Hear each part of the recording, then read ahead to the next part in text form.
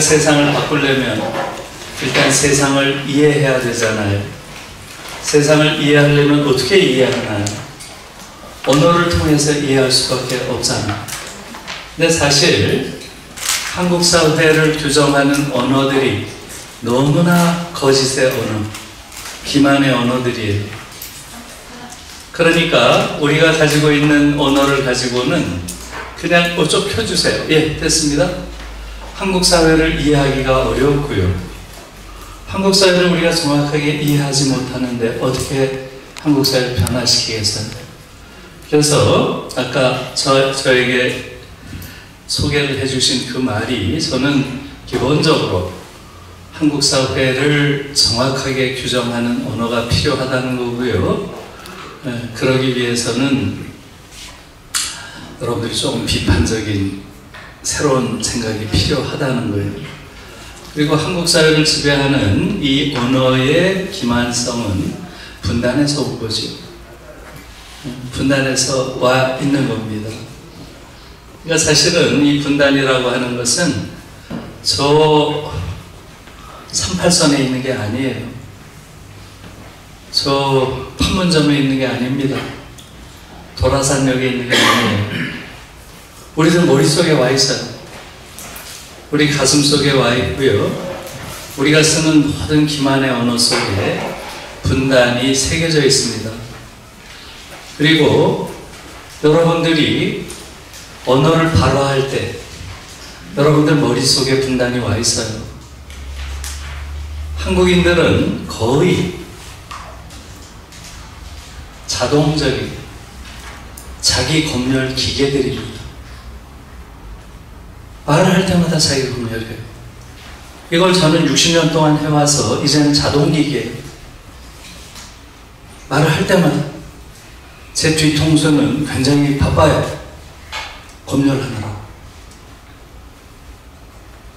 한 사람이 가지고 있는 사유와 사상과 그것을 표현하는 언어를 국가가 완전히 금지하고 거기에 대해서 지금까지도 모든 국민이 포획되어 있는 그러한 체제를 가진 나라가 지구상에 어디 있어요?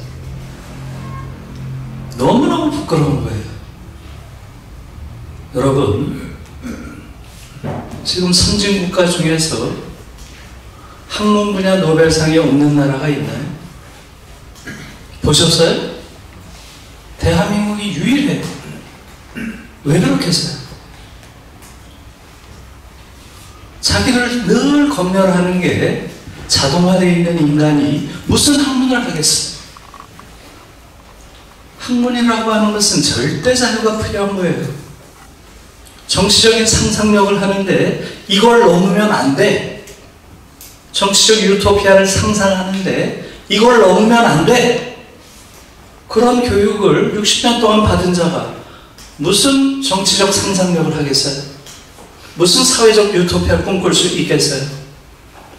지금 가장 큰 문제는 한국인들은 이 통상적인 억압 상태, 기만의 언어가 지배하는 포획 상태에 있는 걸 인지를 못해요. 국가보안법이라고 하는 분단이 남겨놓은 너무나 끔찍한 이러한 악법을 이제는 그냥 너무나 자연스럽게 받아들이고 있어요. 그래서 오늘 아무튼 여러분들이 제 이야기를 들으면서 한번 생각해 보셔야 할 것은 분단의 상처라고 하는 것은 저기 38선에 있는 게 아니에요. 내 머릿속에 있어요. 지금 한국인들처럼 스스로 자유롭게 사유할 능력을 박탈당하고요. 이 분단 체제가 우리에게 새겨놓은 기만의 언어를 그냥 자동으로 자신의 사유 속에 새겨놓은 이런 사람들이 없다는 것. 우리는 일종의 집단적 불구 상태에 있다는 것을 인식할 필요가 있어요. 저는 분단에 남긴 가장 큰 그러한 상처는 한국인들의 사유체제와 감성체제를 불구화했다고 하는 것. 그래서 자유로운 상상의 가능성을 국가가 빼앗았다고 하는 것. 이게 가장 크다고 생각해요. 그래서 지금 한국 사회가 이렇게 일종의 헬조선이라고 하죠? 헬조선. 많이 들었죠? 네. 네. 일종의 지옥 중에서도 조선이니까 아주 시대착오적인 정말 시대착오적인 사회고요. 한국 사회는 지금 대체로 선진국이라고 할 때 대부분의 선진국에 비해서 50년 이상 뒤처져 있어요. 그걸 몰라요, 지금. 우리 물질적인 풍요를 상당 정도 이루었기 때문에 물질적으로는 지금 미국이나 서구 어떤 사회에 비해서 뒤처지지 않습니다. 우리가 쓰는 물건들 정말 좋은 물건들이에요. 제가 작년에 7월에 독일에 갔다 왔는데요. 한 달 동안 제가 가서 너무 놀랐어요. 세상에 한국이 이렇게 부유한 나라가 됐나.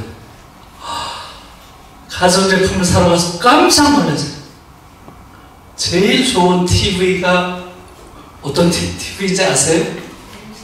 맞습니다. LG 거예요.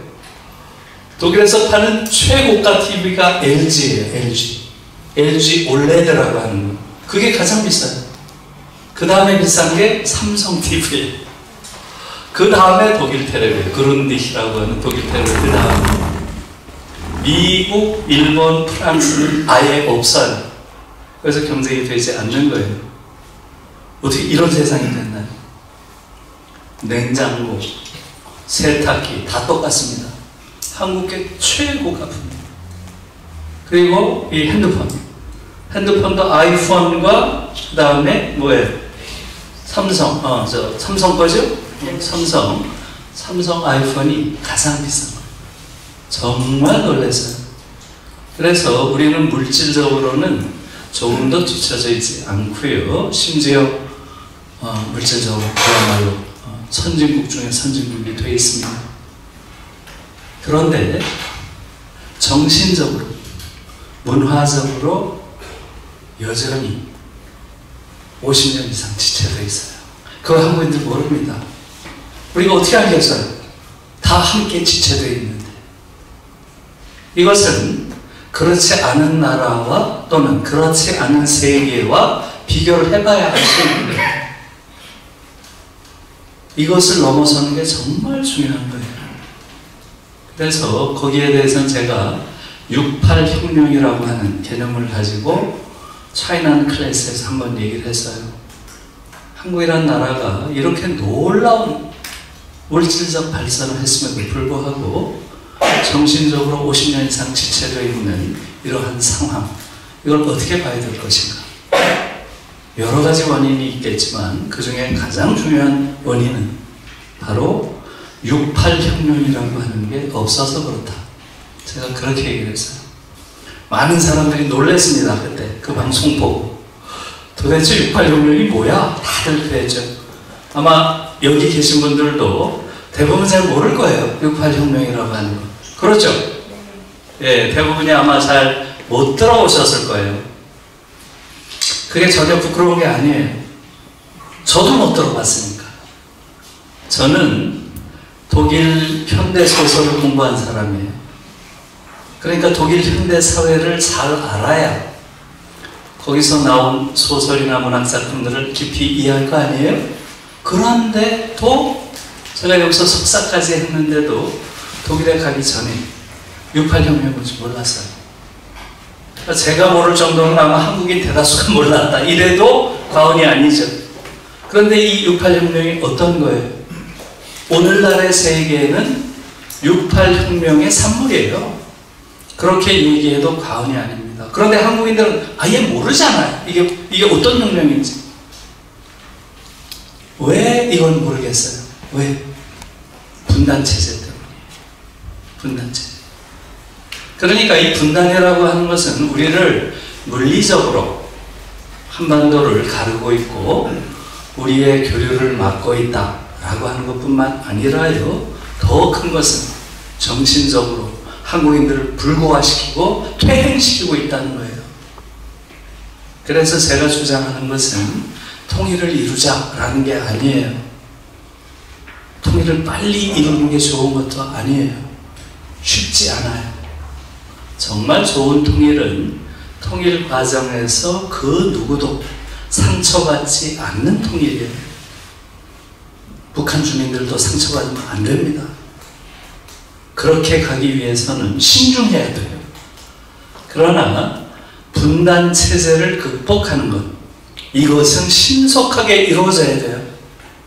분단 체제가 지속되는 한 한국인들은 이러한 기형 상태, 이러한 퇴행 상태를 넘어설 수 없어요. 50년 이상 지체되어 있는데도 지체되어 있는 상황 자체를 몰라요. 늘 검열을 하는데도 이게 습관화돼서 검열을 스스로 하는지도 몰라요. 그냥 자동기계예요, 한국인들. 이런 사회이기 때문에 헬조선이 된 거예요. 헬이라는 말이 지옥이겠죠? 지옥 같은 사회가 됐고요. 동시에 조선이란 말이 뜻하는 건 뭐겠어요? 조선시대와 똑같다는 거예요. 지체되어 있다는 거죠.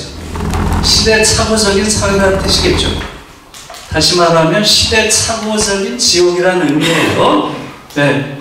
여기서 이 시대착오성이라는 것은 어디서 왔나요? 바로 분단으로 인해서 온 것이고요. 그것이 자기 검열 기계가 우리가 되어 있다는 것. 전 세계 흐름과 50년 이상 지체됐다는 것. 68혁명의 부재에 의해서 이런 것이고요. 헬, 이 지옥이 된 것은 왜 그렇겠어요? 역시 분단체제라고 하는 아주 전 세계 유일무이한 상황에 의해서 지옥이 된 거예요. 그래서 이 부분을 조금 말씀드릴게요. 예. 어젠가요? 윤석열 정부 1년이 됐는데요. 제가 한 한 달 전에 윤석열 정부 1년 거대한 퇴행을 목도하다 이런 제목의 칼럼을 썼어요. 그 칼럼을 보고 어느 정당에서는 제가 쓴 그 말을 우리가 앞으로 이 현재의 상황을 분석하는 핵심 키워드로 봐야 된다 이렇게 했더라고요. 예. 지금 우리의 불행은 이렇게 우리가 처해 있는 대단히 기형적이고 퇴행적인 상황에서 정치 지도자에 대한 운이 너무 없어요. 없어도 너무 없어요. 네? 사실은 지금 윤 대통령만이 아닙니다. 요 전에 대통령도 마찬가지예요. 그 전에 대통령도 마찬가지고요. 그 전에 대통령도 마찬가지. 어떻게 이렇게 운이 없을 수가 있어요? 저는 우리 국민들이 뭐 그렇게 잘못한 게 있다고 이렇게 엉터리 지도자들을 계속 연속해서 뽑아내는지 그걸 이해할 수가 없어요. 우리가 가지고 있는 그러한 수준은 국민들이 이룩한 그러한 부분에서 보면 이런 나라가 없어요.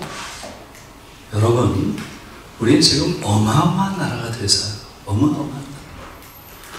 우리가 가지고 있는 이런 민주주의는 이건 뭐 아시아에서뿐만 아니라 전 세계인들이 경탄하는 민주주의예요. 한국인들이 잘 몰라요. 그리고 더 놀라운 것은 지금 민주당이라고 하는 민주당 민주주의를 자신의 당명으로 쓰고 있다. 민주주의를 자신의 정치적 정체성으로 삼고 있는 정당이죠. 그 정당조차 민주주의에 관심이 없어요. 그리고 우리가 얼마나 훌륭한 민주주의를 이루었는지, 그리고 그걸 통해서 얼마나 많은 것을 국민들이 바꿀 수 있는지, 이러한 것에 대해서 국민들이 각성하는 걸 원치 않아요. 저는 확신합니다. 제가 민주당 때 여러 번 강 연을 했어요. 그들에게 이런 얘기 여러 번 했습니다. 그러니까 사실은 국민들이 너무 불쌍한 거죠. 믿을 놈이 없어요. 권력을 가진 자들은 거의 다 동일한 형태로 탐욕적이에요. 그러다 보니까 국민들이 이룩해 놓은 이 훌륭한 민주주의 바탕 위에서도 사회적 진보는 찾아볼 수가 없는 나라예요. 이게 수수께끼입니다. 다시 말하면 우리가 어마어마한 민주주의를 이뤘고요. 또 경이로운 경제 했어요. 엄청난 물질적인 성장을 우리가 일으켰어요. 정말 대단한 거죠. 특히 나이 드신 분들이 자기 희생을 통해서 이런 나라 만든 겁니다. 다시 말하면 우리가 지금 얼마나 엄청난 성취를 했는지 이걸 자각하는 게 굉장히 중요해요. 우리는 사회적 유토피아를 만들 수 있는 제도적, 물적 조건을 갖추고 있어요. 만들 수 있어요, 얼마든지. 제도적 조건은 뭐겠어요? 민주주의죠. 민주주의. 국민들이 연대하고 참여하면 이것은 얼마든지 만들 수 있어요. 또 물적 조건은 뭐겠어요? 경제적 풍요죠. 엄청난 경제적 풍요를 우리가 쌓아놨어요. 그런데 한국 사회는 어떻게 되어가고 있나요? 사회적 지옥으로, 나락으로 계속 떨어지고 있어요. 이 이유를 어디서 찾아야 되느냐 하는 거지. 불가사의한 나라예요. 불가사의한 나라. 한국이라는 나라. 그래서 특히 제가 외국 친구들과 이야기할 때 그런 이야기를 많이 합니다. 어떻게 아시아에서 이런 수준의 민주주의를 할 수가 있냐? 아시아에서 이런 수준의 민주주의를 할 수가 있냐? 그렇게 경탄을 합니다. 아까 우리 선생님이 저를 독일 유럽 연구센터에 소장을 하고 있다 이렇게 소개를 해주셨죠. 예, 고맙습니다. 가끔 소개를 안 해줄 경우도 있어요. 예. 독일 유럽 연구센터라는 게 굉장히 중요한 센터예요.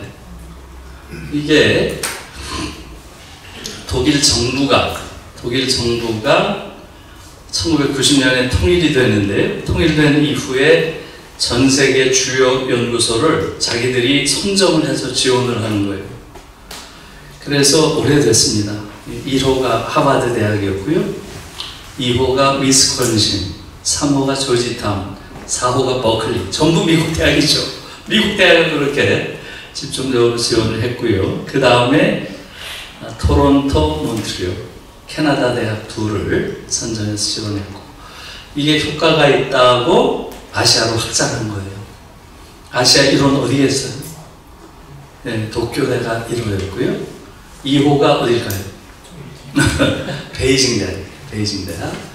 이 흐름으로 봐선 3호는 서울대학이 됐어야 될 것 같은데 이변이 생긴 거예요. 그래서 중앙대학이 됐고요. 그래서 지금 아시아는 세 개밖에 없어요. 그래서 그리고 또 유럽에 있죠. 유럽에는 영국은 캠브리지 대학이고요. 프랑스는 파리 대학 연합, 파리 대학이 13개나 있어요. 러시아는 상페터스부르크 대학이고요. 이렇게 해서 16개국에 21개 연구소가 있어요. 예, 그래서 제가 이 이야기를 장황하게 드린 이유는 여기서 매년 센터 컨퍼런스를 해요. 매년. 저는 학자들 중에서는 운이 좋은 편이죠.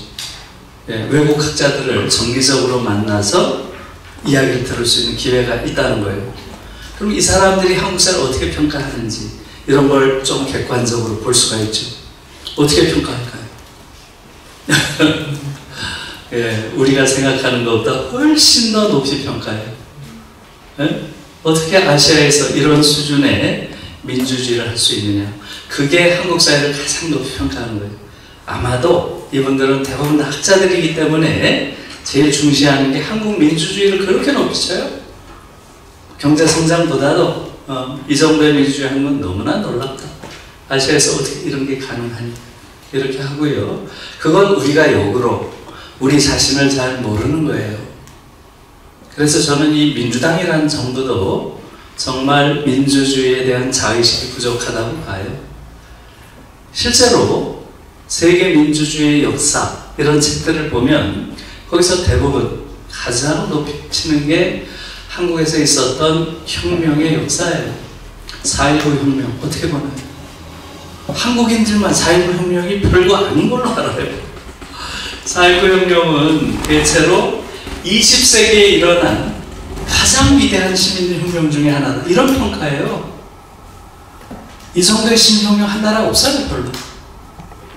혹은 1945년 이후에 2차 세계대전 이후에 많은 신생 국가가 탄생하죠. 우리도 사실 그때 탄생한 거죠. 2차 세계대전 이후에 탄생한 신생 국가 중에서 일어난 첫 번째 시민혁명이 바로 4.19예요. 그래서 이 역사적 의미에 대해서 정말 높이 평가합니다.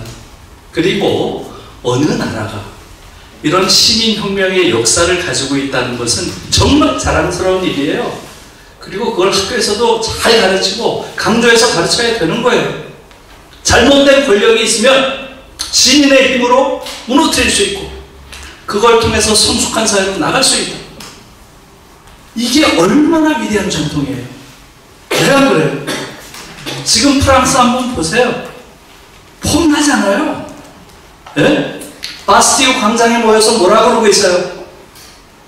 마크롱, 루이 16세를 기억하라. 딱 이랬잖아요. 루이 16세, 누구예요? 1789년에 루이 16세 목을 쳐버리잖아요. 바로 프랑스의 위대한 혁명의 역사가 프랑스 국민의 가슴 속에 살아 숨쉬고 있어요.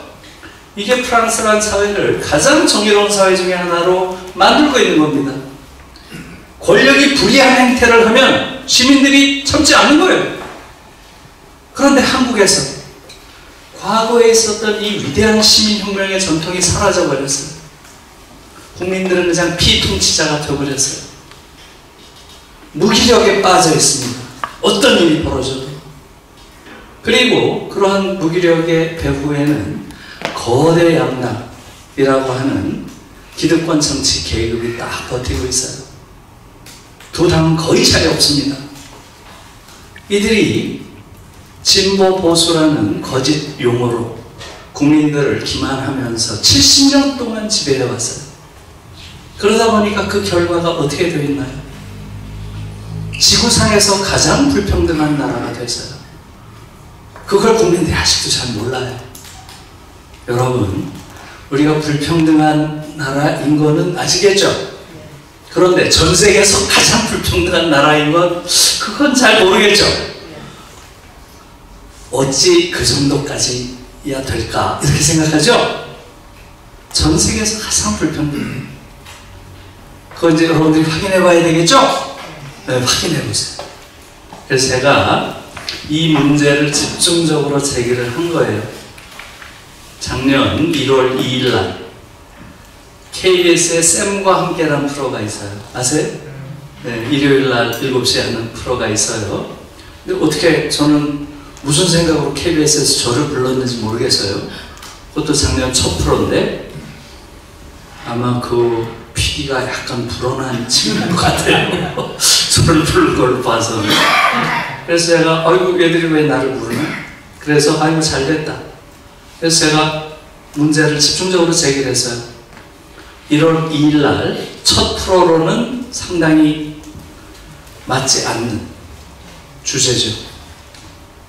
지구상의 가장 지옥이 대한민국이다. 이런 주제로 했어요. 대한민국 대전은 이러한 나라를 대전환하지 않으면 앞으로 미래가 없다.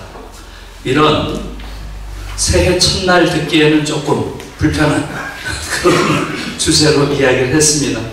거기 들어가서 한번 보세요. 다시 보기로 볼 수 있습니다.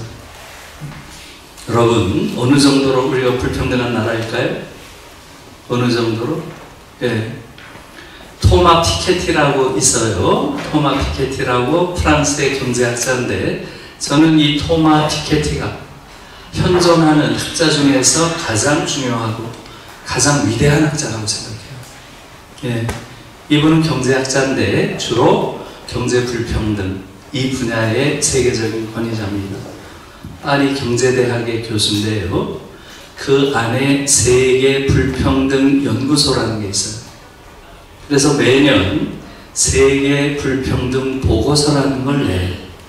World Inequality Report 2022 작년에 나왔어요. 제가 그걸 근거로 얘기한 거예요. 그걸 근거로. 거기서 내놓은 거예요. 그걸 보면 세계에서 가장 불평등한 나라입니다. 어떻게 되어 있나요? 이 사람은 어떻게 돼요? 불평등. 자산 불평등은 상위 10%가 가지고 있는 부의 평균값과 하위 50%가 가지고 있는 부의 평균값 그것이 몇 배 정도 차이가 나는가 이걸로 재요. 한국이 몇 배 차이 날 것 같아요, 여러분? 상위 10%가 가지고 있는 부의 평균치와 하위 50%가 가지고 있는 부의 평균치 몇 배 정도 차이 날까요? 100배까지는 안 나고요. 사실은 A라는 집과 B라는 집이 한 3배 정도 부의 차이가 난다. 그걸 피부로 느끼면 어때요? 엄청난 차이죠. 한 3배만 나도. 그러니까 우리가 너무 차이가 나니까 지금 그런 감각을 좀 잃어버린 거죠. 실제로 얼마나 차이가 날까요? 우리는 피케트에 따르면 네, 52배가 난다고 합니다. 52배. 어마어마한 차이예요. 이 정도 나는 나라는 없습니다. 거의. 하위 50%가 가지고 있는 부의 양이 우리가 가지고 있는 전체 부의 몇 프로가 될까요? 우리 국민의 절반이 가지고 있는 부가 전체 부에서 차지하는 양이 몇 프로 정도 될까요? 평등한, 완전 평등한 사회라면 50%겠죠? 50%니까?